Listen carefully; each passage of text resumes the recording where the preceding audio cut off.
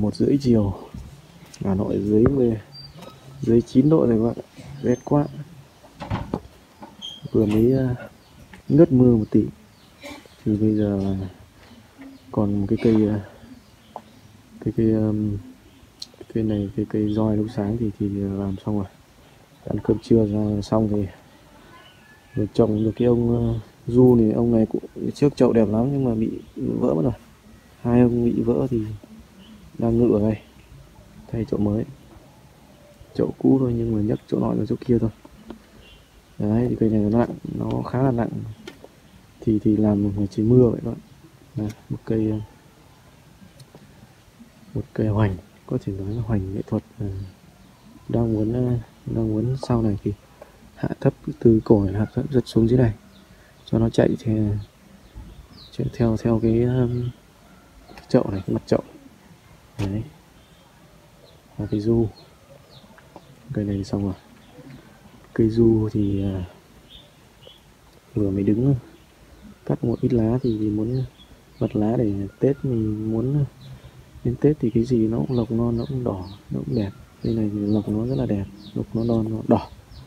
Thân nó cũng đỏ các bác. Với lại lá hiện tại nó cũng già rồi. Thì vật à, vật lá cây này các bác nhé. Bác nhìn lại cây này và tí đi vòng một số cây ở gần quá nha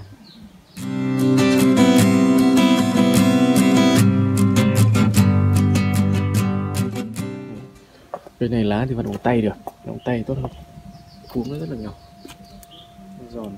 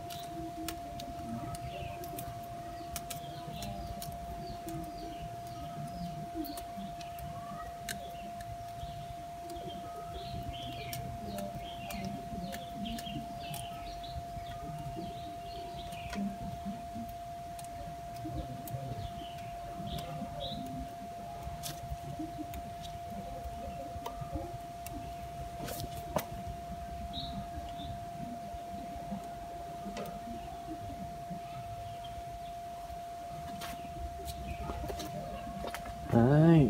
Các bác các bác không biết nhìn nó rõ là nó không phải là mưa nó mới lên màu đâu các không phải ướt mới lên màu đâu.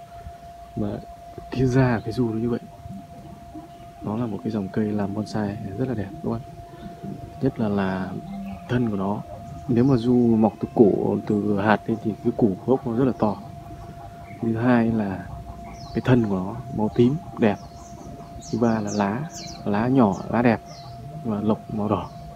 Đỏ chót luôn đấy. Nó thích. Cũng có hoa có quả ấy, nhưng mà nó lâu. Nó nó thuộc họ nhà chuối nhưng mà nó chơi nó sang hơn và nó nó đẹp hơn chuối lá nó đẹp hơn. Mọi thứ nó đều đẹp hơn.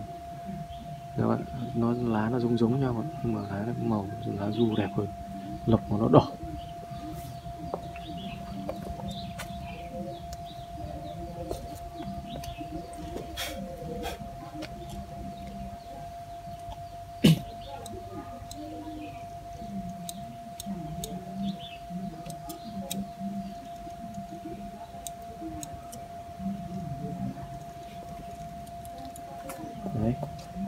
Cái dòng du dòng muối này thì dằm là thích lắm.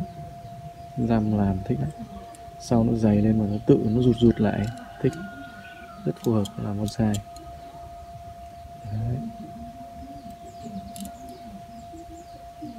rất, phù, rất phù hợp với làm bonsai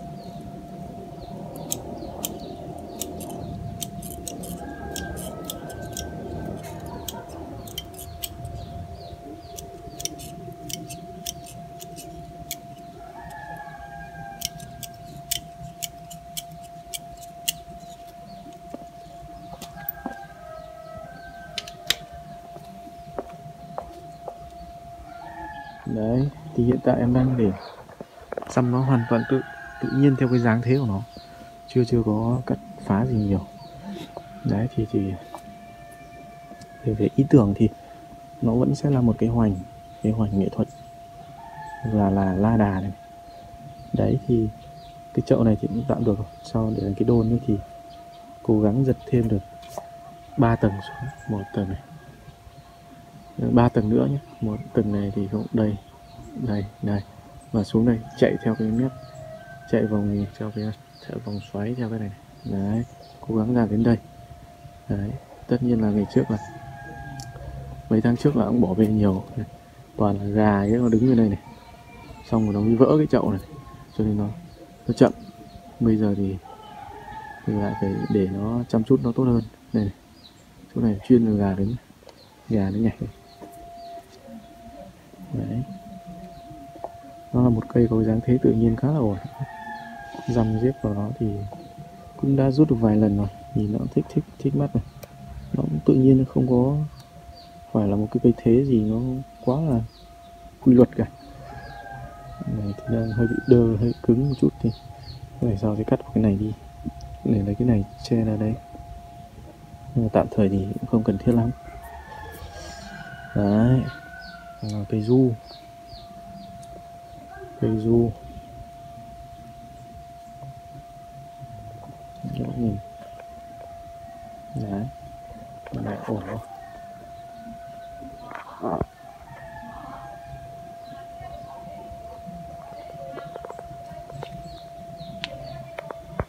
Cái giấy lên nha.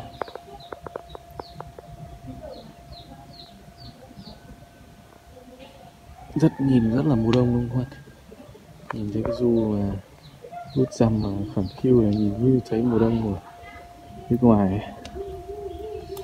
Đấy, du khi mà từ hạt lên thì cái củ nó rất là to còn nếu cây nào mà cũng có củ hết Đấy. Rồi ạ. Thì vướng cái cây ổi này không nổi vào Đấy, nhìn từ lưng này xuống Đấy